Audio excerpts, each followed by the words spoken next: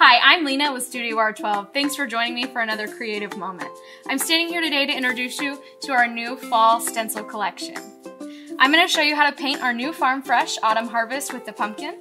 I'm going to be using our Farm Fresh Autumn Harvest stencil and our background embellishment buffalo check stencil.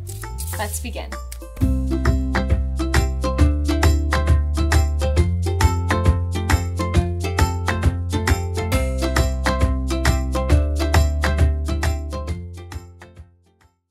Autumn Harvest project, the first thing I'm going to do is I painted my background gray, and then to embellish it and give it a little bit more depth, I took the Studio R12 Buffalo Check stencil. The first thing you need is your dome brush. That's a big key to prevent bleeding.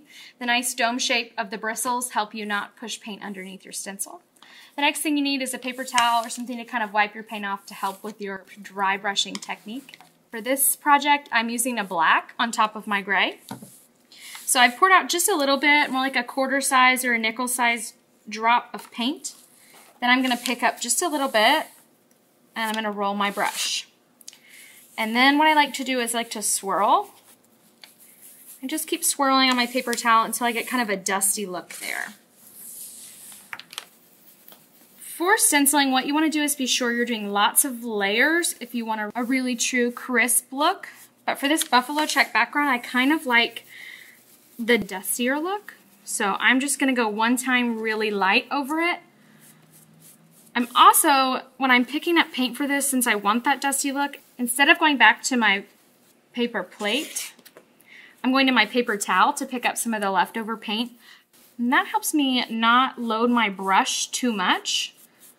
That way you can kind of see where I ended, because sometimes your paint gets heavier as the longer you use a brush. Yeah, so that's kind of what we're looking for right there. Now I'm going to move on to taping off my border.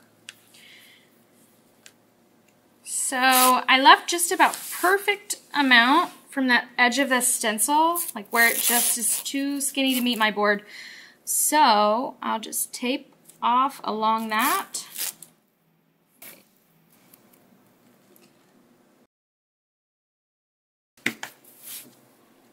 Okay, and I'm going to take this same like creamy white color that I'm going to be using for my stenciled words to do my border. I think that kind of helps tie it all together, make your project look really balanced.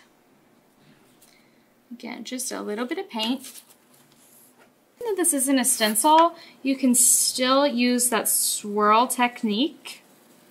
It will soak really nicely for you. Or if you are more comfortable with the stippling, this is a fine place to use it too. My first coat isn't going to cover really true, so you're going to be sure you want to do more than one coat on this. Okay. And just as soon as you're done,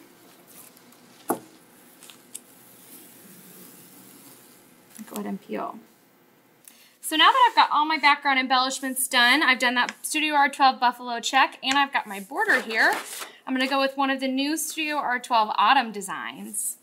So I'm gonna take this Farm Fresh Autumn Harvest stencil, and I'm gonna put it right where I want it on the board, making sure I give my border good room on both ends there. Okay, so again, with the stenciling process, I'm gonna take one of these dome brushes and just a little bit of paint, I'm just going to swirl really lightly. Looks like I have a little more paint on my brush than I thought. So I'm just going to stop what I'm doing, go back, rub my brush off a little more. Yeah, that looks a lot better. But even just that little bit, that first layer looks really good. So we've got a really nice place to start here. That's why it's good to have lots of different techniques in your tool belt, right? Now that I've finished my project, I'm gonna go ahead and peel off my stencil. I really like the way that looks. I'm especially loving that little pumpkin. He's so cute. So I'm gonna take my sandpaper and I'm just gonna run it over this one quick time.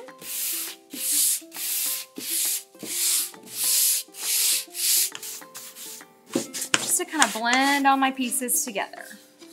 then I've got my finished project.